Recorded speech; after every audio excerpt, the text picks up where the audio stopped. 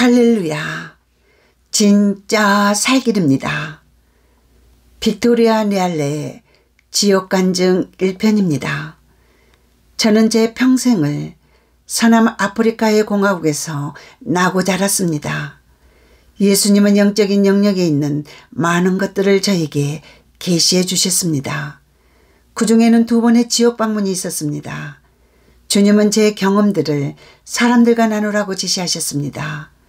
또한 주 예수 그리스도께서는 주님이 보여주신 것이나 말씀해 주신 것 중에서 그 어떤 것도 더하거나 빼지 말라고 경고하셨습니다. 주 예수님은 저를 33번 방문하셨습니다. 주님이 매번 방문하실 때마다 주님은 떠나시기 전에 항상 말씀하시길 시간이 너무나도 빨리 가고 있구나. 시간이 없다라고 하셨습니다. 2005년 7월 23일 저의 부모님과 함께 주말을 보내기 위해서 제 고향집으로 가는 도중 저는 그날 저녁에 어떠한 엄청난 일이 저에게 일어날 거라는 기분이 들었습니다. 저는 제 가족들과 함께 부엌 바닥에 깔려있는 오래된 시트 위에 누웠습니다. 그러는 동안 제 꼬마 조카들은 주일학교에서 배운 노래들을 부르고 있었습니다. 순간 저는 굉장한 주님의 기름 부으심이 제 위에 부어지는 것을 느꼈습니다. 제 몸은 굉장히 연약한 상태가 되었습니다. 저는 하나님의 힘으로 인해서 정신을 잃었습니다. 그때 저는 한 남자가 길고 하얀 예복을 입고 제가 누워있는 곳으로 걸어오고 있는 것을 보았습니다. 그 남자 주인은 찬란한 빛이 감싸고 있었고 그 빛은 그 남자로부터 발산이 되고 있었습니다. 그 남자는 갈색의 샌들을 신고 있었으며 그의 얼굴은 영광에 가득 차 있었습니다. 하지만 저는 그의 눈을 바로 쳐다볼 수가 없었습니다. 그가 말할 때 그의 목소리는 부드럽고 자상하고 사랑스러우며 권위가 있었습니다. 그분 자체에서부터 사랑이 흘러나오고 있었습니다. 그분은 그분의 손을 저에게 뻗어 제가 누워있던 곳에서부터 일으켜 주셨습니다. 갑자기 저의 몸은 아름다운 몸으로 완전히 바뀌었습니다. 저의 몸은 제가 18살 때와 같았습니다. 저는 하얀 끈으로 묶인 하얀 예복을 입고 있었습니다. 그분은 사랑스럽고 부드러운 목소리로 말씀하셨습니다. 빅토리아, 난 내가 나와 함께 가길 원한다. 나는 내게 깜짝 놀랄 만한 일을 보여줄 것이다. 그리고 나는 내가 내 평생에 한 번도 가보지 못한 곳으로 널 데리고 갈 것이다. 그분은 제 오른손을 잡고 가셨습니다. 저는 우리가 공중을 걷고 있는 듯한 느낌을 받았습니다. 그리고 우리는 항상 위쪽을 향해 갔습니다. 조금 가는 도중에 저는 피곤해서 더 이상 이 여행을 계속할 수 없으니 저를 다시 데려다 달라고 사정하기 시작했습니다. 그렇지만 그분은 부드러운 눈으로 바라보시며 너는 피곤한 게 아니란다. 너는 괜찮단다. 피곤해진다 하더라도 내가 너를 안고 갈 것이다. 하지만 너는 지금 괜찮단다. 평안히 너와 함께 할지어다. 어서 가자. 우리가 도착한 곳은 굉장히 메마르고 습기가 없었습니다. 사람들에게 알려진 그 어떠한 사막보다 더 심각했습니다. 어떠한 생명의 흔적이라고는 찾아볼 수 없었습니다. 그곳에는 단 한 그루의 나무나 잔디잎이나 어떠한 생명체라도 볼 수 없었습니다. 실로 우울해지는 곳이었습니다. 우리가 어떠한 문에 이르렀을 때 그분은 제 쪽을 돌아보시며 말씀하시길 빅토리아 우리는 이 문을 통해서 들어갈 것이다. 그리고 내가 이제 볼 것들은 너를 무섭게 할 것이며 심란하게 할 것이다. 하지만 내가 널 어디로 데리고 가든 담대함을 잃으면 안 되느니라. 너는 완전히 보호를 받을 것이다. 너는 내 눈을 똑바로 뜨고 내가 보여주는 모든 것들을 관찰해야 하느니라. 저는 겁에 질려 있었습니다. 그리고 울기 시작했습니다. 저는 다시 데려다 달라고 간청했습니다. 저는 그분께 그 안으로 들어가고 싶지 않다고 말했습니다. 그분은 저를 보며 말씀하시길 평안히 너와 함께 할지어다. 내가 너와 함께 있느니라. 우리는 반드시 들어가야 한다. 왜냐하면 시간이 없기 때문이다.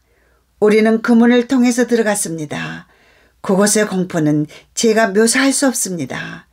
제가 확신할 수 있는 것은 이 우주를 통틀어도 이것만큼 나쁜 것은 없을 거라는 것입니다.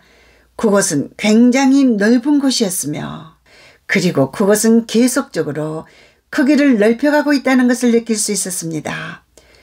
그곳은 극도로 어두운 곳이었으며 그 열의 온도 또한 잴 수 없었습니다. 그곳은 제일 뜨거울 수 있는 불보다 더 뜨거웠습니다. 저는 어떠한 불꽃이나 그 열이 발생할 수 있는 근원지 같은 것은 볼 수 없었습니다. 하지만 그곳은 뜨거웠습니다. 그곳은 각기 다른 크기의 파리들로 가득 차 있었습니다. 초록색, 검은색, 회색의 파리들, 모든 있음직한 종류의 파리들은 다 그곳에 있었습니다. 추가로 그곳에는 짧고 굵고 검은 지렁이들이 여기저기 모든 곳에서 무엇이든 간에 기어 올라갔습니다. 그것은 가장 메스꺼운 악취로 가득 차 있었습니다. 이 냄새는 제가 이제껏 살아온 인생에서 제일로 냄새가 고약했던 썩은 고기의 냄새보다 100배는 더 강했습니다. 그곳은 통곡하는 소리와 고통과 분노로 이를 가른 소리로 꽉 차 있었습니다. 또한 악마의 사악한 웃음소리도 들렸습니다. 그곳의 제약은 셀 수조차 없는 사람들로 꽉 차 있었는데 사람들의 모습은 해골과도 같았습니다. 제가 자신있게 말할 수 있는 것은 이 해골들이 다 사람이었다는 것입니다. 왜냐하면 제 마을 사람들을 알아보았기 때문입니다. 그들의 뼈는 짙은 회색이었으며 굉장히 건조해 있었습니다. 그들은 야생동물 같은 길고 뾰족한 이빨을 가지고 있었습니다. 그들의 입은 크고 넓었습니다. 그리고 그들의 혀는 길고 강렬한 붉은색이었습니다. 그들의 손과 발에는 길고 얇은 손가락과 발가락들이 있었으며 뾰족한 손톱과 발톱이 있었습니다. 어떤 사람들은 꼬리와 뿔도 나 있었습니다. 그곳에는 사람들 사이에 끼어 있는 악마들도 있었습니다. 그 악마들의 생김새는 악어 같았으며 네 발로 걸어 다녔습니다. 그들은 그것 환경이 굉장히 편해 보였습니다. 그리고 그들은 계속해서 사람들을 놀리며 고문하였습니다. 그 악마들이 내는 소리는 축제를 즐기는 듯한 소리였으며 그들은 태평하며 즐거워 보였습니다. 또한 그들은 춤을 추며 뛰어다녔습니다. 하지만 사람들은 비참하고 우울해 보였습니다. 그들은 무력하며 희망도 없어 보였습니다. 그들은 울고 소리 지르며 고통으로 인하여 이빨을 갈고 있었습니다. 그들은 상상조차 할 수 없는 고통과 고뇌의 장소에 있었습니다. 그분은 저를 동쪽에 있는 그룹으로 인도해 주셨습니다. 그분이 말씀하시길 빅토리아 이곳에 있는 그룹은 다른 사람들을 용서하기를 거부한 사람들이다. 나는 많은 다른 방법들로 수도 없이 용서하라고 말해 주었다. 하지만 그들은 나의 말을 거절하였다. 나는 그들의 모든 죄들을 용서해 주었지만 하지만 이들은 다른 사람들을 용서하기를 거부하였다. 그들은 그들의 시간이 다 지난 후 그들이 지옥에 와 있는 자신을 발견하였다. 그들은 이곳에 영원히 있게 될 것이다. 그들은 그들이 맺은 열매를 영원, 영원히 먹게 될 것이다. 두 번째 분류는 빚을 진 사람들이었습니다. 그리고 그 빚을 갚을 능력이 있었습니다. 그리고 기꺼이 그 빚을 갚을 생각이 있었습니다. 그러나 그들은 그 후에 그들에게 닥칠 결과에 대해서 무서워하고 있었습니다. 왜냐하면 혹시나 그들이 진실을 말할 경우 사람들이 그들을 따돌릴 수도 있었으며 아니면 그들이 감옥을 갈 수도 있으며 아니면 그들의 잘못된 행동이 온 세상에 알려져 창피를 당할 수도 있습니다. 예수님이 말씀하시길 이들 중 아무도 나에게 와서 길을 물어보는 사람이 없었단다. 만약에 물어보았다면 나는 그들에게 쉽게 빠져나갈 수 있는 길을 가르쳐 주었을 것이다. 그들은 그들의 지혜와 이성을 사용하였단다. 이것들은 그들을 어떠한 식으로 빠져나올 수 있도록 도와주지 못했단다.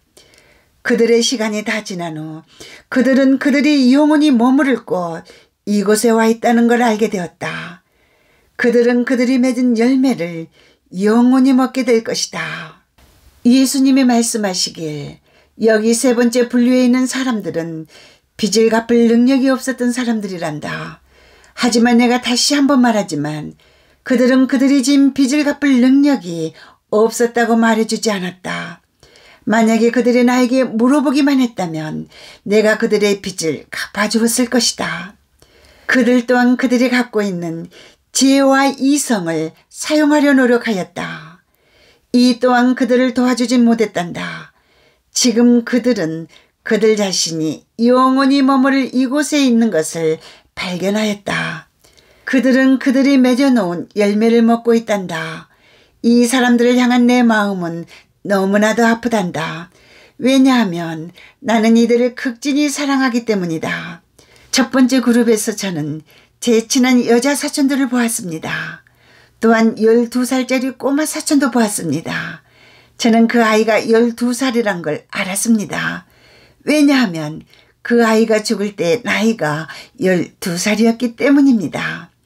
두 번째 그룹에서 제 남자친구를 보았습니다. 제 남자친구 제익은 제가 예수님께 제 인생을 드렸다는 이유로 자살을 했습니다. 그리고 저는 친척들과 동네 사람들도 보았습니다. 저는 그들이 죽기 전에 알고 지내던 사람들인 것을 알 수 있었습니다. 그들 또한 저를 알아보았습니다. 제 친척들이 저를 알아보는 순간 너무나도 화가 나 있었습니다. 그들은 저에게 고함을 지르기 시작했습니다. 그들이 나에게 저주를 퍼부을 때 제일 상스러운 말을 사용하였습니다. 그 중에 한 명이 말하길 제가 예수님을 따를 만큼 가치가 있지 않다고 말하였습니다. 그들은 제가 주님께 제 삶을 드리기 전에 했던 말들을 하고 있었습니다. 그들은 거짓말을 하고 있지 않았습니다. 그들이 비난하듯 하는 말들은 사실이었습니다. 제 남자친구 제익은 제가 그에게 속해 있다고 말하였습니다. 그리고 그가 있는 곳 지옥에 제가 가야 한다고 말하였습니다. 왜냐하면 저 또한 그가 지은 죄를 똑같이 지었기 때문이라고 했습니다. 제가 잘 알고 지내던 목사님도 보았습니다. 처음에 그곳에서 목사님이 저를 만난 것을 즐거워하는 것 같았습니다. 그분은 제가 온 것을 잘하였다고 했습니다. 하지만 그분의 태도는 한순간에 바뀌었습니다. 그 목사님은 저와 함께 온 분이 누구신지 알아차린 순간 그 목사님 또한 불결한 말을 사용하며 저를 조주하는 데 동참하였습니다. 예수님은 그들이 하는 말을 모른 척 하라고 하셨습니다. 그들은 그들이 무슨 짓을 하고 있는지 모른다고 하셨습니다. 저는 무감각한 상태가 되었습니다. 그리고 굉장히 슬펐습니다. 제 몸은 떨리고 있었으며 저는 일어설 수가 없었습니다. 저는 감당하기 어려울 정도로 울고 있었습니다. 그분은 몸을 저에게 돌려 저를 안아주셨습니다. 그리고 말씀하시길 평안이 함께할지어다 빅토리아 저는 힘이 났습니다. 그분이 안아주심으로 인하여 굉장한 안전함을 느꼈습니다. 그분은 저를 바라보시며 빅토리아 나는 너에게 보여주었다. 이제 너는 어떤 그룹에 속하고 싶은지 골라야 한다. 선택은 내 손에 달려 있다. 너는 내가 보고 경험한 모든 것들을 사람들에게 반드시 말해줘야 한다. 하지만 그 어떠한 것도 더하거나 빼면 안 되느니라. 저는 그 공포스러운 곳을 주님과 함께 떠나던 순간을 기억합니다. 하지만 저는 어디서 주님과 헤어졌는지는 모르겠습니다. 저는 곧 눈을 떴습니다. 그리고 저는 제 몸 안으로 들어와 병원에 누워 있었습니다. 그리고 저는 병실 한쪽 코너에 제 어머니와 제 마을에 함께 살고 있는 이웃 사람들을 보았습니다. 그들은 깜짝 놀란 얼굴로 쳐다보고 있었고 제 어머니는 울고 계셨습니다. 저는 한 간호원에게 제가 무엇이 잘못되어 이렇게 되었는지 물어보았습니다. 하지만 그녀는 농담을 하듯 이렇게 말하였습니다. 당신은 다시 돌려보내졌네요. 아마도 뭔가 잘못한 일이 있어서 회개하라고 돌려보내 주셨나 보죠. 그녀는 제 상태에 대해서 태연하게 말하려고 노력하고 있었지만 저는 그녀가 저에게 다가오는 것조차 무서워하고 있다는 것을 알았습니다. 의사가 저에게 말하길 저의 어디가 잘못된 것인지 모른다고 하였습니다. 그는 제가 말라리아에 걸렸을 거라고 말했으며 제 체온과 맥박 그리고 혈압이 위험할 정도로 낮았다고 했습니다. 하지만 그 원인을 찾을 수가 없었다고 합니다. 그는 저를 위해서 해줄 수 있는 게 아무것도 없었다고 합니다. 그는 제가 아픈 곳이 없었기 때문에 입원을 시켜줄 수도 없었다고 합니다. 의사는 제가 힘을 얻을 수 있도록 링게를 꽂아주도록 간원에게 지시했습니다. 저는 제가 그곳에서 본 것들 때문에 너무나도 무서움에 떨고 있었습니다. 그리고 저는 울음을 그칠 수가 없었습니다. 제가 그 두려운 곳에서 맡았던 악취는 아직도 현실처럼 냄새를 맡을 수 있었습니다. 그곳에서 봤던 장면들이 자꾸만 언제나 제 앞을 지나갔습니다. 저는 잠을 잘 수가 없었습니다. 제 몸은 고통 속에 있었습니다. 저는 제 사지가 떨어져 나갔다 다시 붙었다 하는 듯한 느낌을 받았습니다. 오, 너무나도 끔찍한 느낌이었습니다. 저는 설사와 함께 머리를 심하게 얻어맞는 것 같은 두통을 일주일 내내 느꼈습니다. 저는 제 자신에게 계속해서 말하길 누가 날 믿어줄 것인가? 사람들이 뭐라고 생각할까? 난 절대로 내 경험담을 아무에게도 말하지 않겠어 라고 했습니다. 저를 지도해 주시는 분 중에 한 분이 제가 잘 있는지 안부를 물어보시려고 전화를 해 주셨습니다.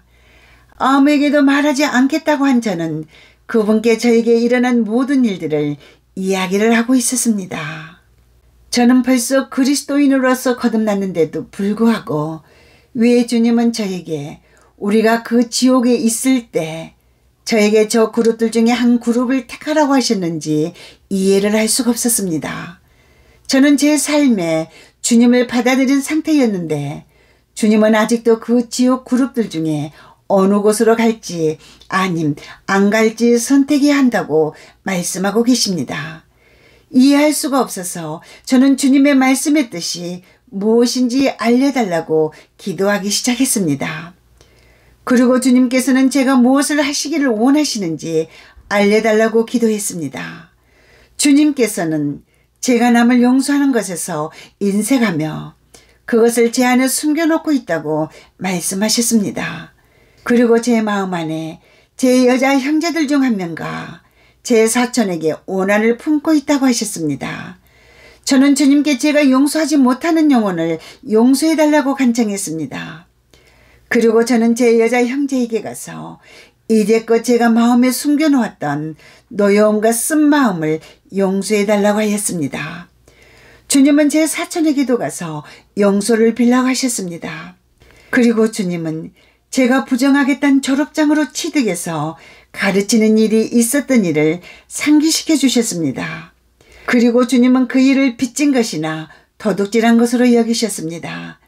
저는 무엇이 바른 것인지 확고하게 하기로 했습니다. 그리고 저는 주님께 이 문제들을 해결해 나가는 것을 도와달라고 했습니다. 그리고 쉬운 길로 나갈 수 있도록 도움을 청했습니다. 왜냐하면 이것은 저를 감방에도 들어갈 수 있게 하는 무거운 죄였기 때문입니다. 주님은 제가 교육청에 가서 제가 무슨 짓을 했는지 고백하길 원하셨습니다. 만약에 피할 수 없다면 저는 감옥에 들어갈 준비를 하고 있었습니다. 교육청 직원들은 제가 무엇을 하길 원하는지 결정하라고 말했습니다. 저는 그동안 나라에서 받은 월급을 다 돌려줄 것인지 아님 그렇게 하지 않을 것인지 물었고 그들은 그 죄에 대하여 묻지 않겠다고 약속하였습니다. 만약에 당신이 제가 겪은 이 경험과 같은 경험을 하고 있다면 그 일로 인해서 어떠한 대가를 치르게 될지라도 옳은 선택을 하시길 바랍니다. 당신은 이 지구상에 있는 감옥에 감금당할 수도 있습니다. 하지만 그것은 잠시일 뿐입니다. 하나님과 영원히 끊어질 것을 생각하면 그것은 아픔도 창피함도 아닙니다. 지옥은 멋있는 곳이 아닙니다. 더 늦기 전에 주님이 당신을 심판하도록 허락하는 것이 낫습니다. 우리는 우리가 주님의 은혜의 시간 안에 있을 때 주님의 심판을 두려워하지 말아야 합니다. 아직 우리가 주님과 똑바른 관계를 가질 수 있는 시간이 있을 때 우리는 주님이 우리의 인생에서 무엇이 틀렸는지 들추어내 주시도록 허락해야만 합니다. 제가 여러분께 말씀드리고 싶은 것은 지옥은 어떤 사람의 상상으로 꾸며낸 이야기가 아닙니다.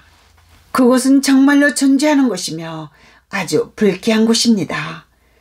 그곳은 사람들을 위하여 만들어진 곳이 아닙니다. 사탄과 그 귀신들을 위하여 만들어진 곳입니다. 우리는 당연히 예수님과 함께 천국에 있어야 합니다. 하지만 우리는 더 늦기 전에 예수님을 택해야 합니다. 오늘 당신이 그분의 목소리를 듣게 된다면 마음을 굳히지 마십시오. 예수님을 당신의 구주로 받아들여 주세요. 그리고 그분만을 위해서 살아주세요. 지옥은 두려운 곳입니다. 그곳은 두려움과 슬픔이 있는 곳입니다. 그것은 고통의 장소이며 영원히 울며 일을 가는 곳입니다. 사탄들은 되도록이면 많은 수의 사람들을 지옥에 데리고 가려고 합니다. 사탄과 타협하지 마십시오. 주님과 합심하세요. 그렇다면 여러분은 죽지 않고 사실 것입니다. 지금까지 빅토리아 네할레의 지옥 1편이었습니다. 진짜 살길이었습니다.